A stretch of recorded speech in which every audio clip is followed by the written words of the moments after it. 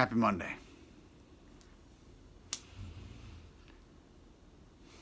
I don't I'm in one of those I'm in a day. I'm grateful and yet I'm projecting a little bit into the unease of my future. My dis-ease of the future. Uh, which is, you know, that I won't be okay.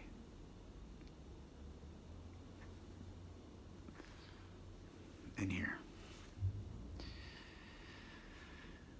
So, action, back to breath, today, right now. Familiar. Gratitude.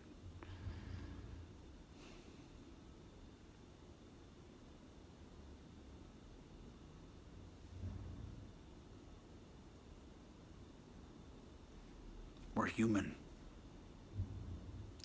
I forget. I tell myself scary stories, and then I get frightened, and then I get anxious, and then I don't get present. I project myself into the future, into the past. What should I have done different? Ba, ba, ba, ba, ba, ba, ba, ba. Takes me out of this moment. Who's in front of me? How can I be of service to what's in front of me? How can I be of service in this minute, this moment, this day?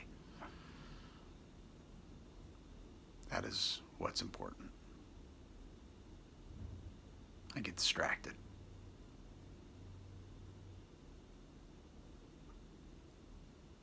And my old pattern, or my old, yeah, pattern is to continue to feed my dis ease, you know, my project scary stories into the future and get obsessed with those.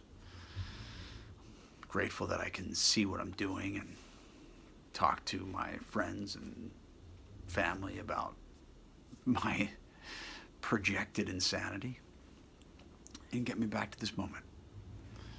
So that's what I'm doing. Got some things to do today. I hope you're having a fantastic morning.